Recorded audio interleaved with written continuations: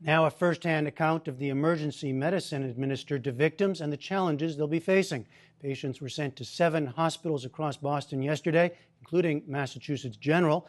Dr. Alasdair Conn heads the hospital's Department of Emergency Medicine. Hari spoke with him a short time ago.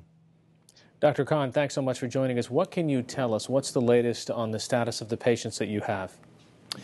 We have 12 patients that were admitted to the hospital uh, yesterday following this explosion. Last night we listed eight as critical, um, and we're now listing seven as critical, although we're hoping that one will improve overnight, so that will leave us with six. Um, four of the patients, unfortunately, um, had an amputation of one of their lower extremities. What types of injuries are you seeing? We've heard so much about these lower extremities. In fact, one of your colleagues this morning said that you're completing the job that the bomb began. That's correct. They were when they arrived, they were virtually complete amputations, and it was very obvious in the emergency department and subsequently in the operating room that there was so much damage that uh, these could not be reattached, if you like. Um, and so basically, we were completing what the explosion had already done.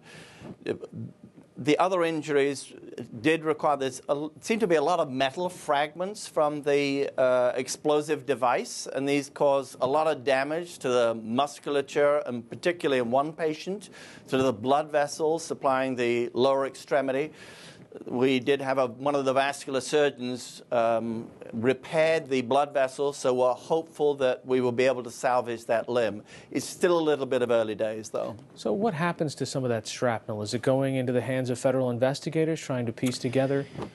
Absolutely. Uh, any material that is going to help in this investigation was handed from the operating room to the appropriate authorities um, for them to obviously see what they can determine about the the people who led to this uh, um, tragedy. And, and when you say metal objects, what does that mean? Are these sharp like nails? Are they round like BBs? What was in there? The, the one thing that impressed me first looking at the CT scans and the x rays as soon as we had them developed was the number of small like BBs that were, were in the wounds, not only the lower extremities, but in some patients elsewhere on the body. Um, and Dr. Velmahos, who did a lot of the surgery, was saying that some of the metal objects appeared to be like nails that the head had been cut off in some way. So again, all of these were collected when we removed them from the patients and given to the authorities from the operating room. Now, you're the chief of the Department of Emergency Medicine. You train for something like this, but how different is it when this comes through your door? We train for it. We're very fortunate in Boston. We've gone through a lot of disaster drills, but this was the real thing. We certainly see uh, horrific injuries, but it's usually one patient at a time. And uh, yesterday, 12 patients in the course of less than an hour. Um, fortunately, we were able to mobilize the resources and Within just a few minutes, we had five patients from the emergency department right up to the operating room, and those were obviously the most critical patients. And so, what's next for these critical uh, patients? What are you looking for and watching out for in the next 24 or 48 hours?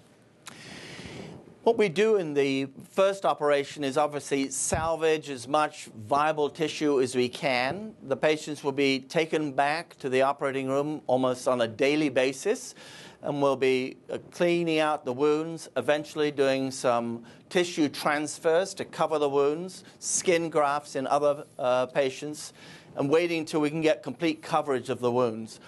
We're hopeful um, that the no more patients will lose a lower extremity. That's what we're hoping for.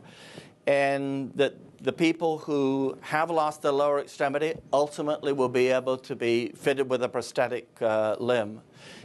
I will say one of the orthopedic surgeons here has received calls from patients who he's previously operated on calling up and saying, Look, I've been living with my artificial leg. I have a full life. I can walk, I can run, I can jog. I would love to come in when the time is right and help people initiate the rehabilitation process. And, and I know uh, you had sent some of your patients across for ear damage. Was that from the explosion? Uh, yes, it was. A blast injury, if they're very close to the explosion, it can literally rupture the eardrum. and those patients we sent across to the Massachusetts Eye and Ear Infirmary to have their uh, ears more appropriately managed. Are there dangers of concussion wounds for all of these patients too? They were in danger, but after evaluation here, we felt comfortable that they didn't have any uh, severe concussion and that we wanted to get them examined to determine if there was any damage to their tympanic membranes and their hearing. And, and what about things like blood pressure, uh, considering the loss of blood and the loss of limbs and so forth? How do you, how do you regulate that?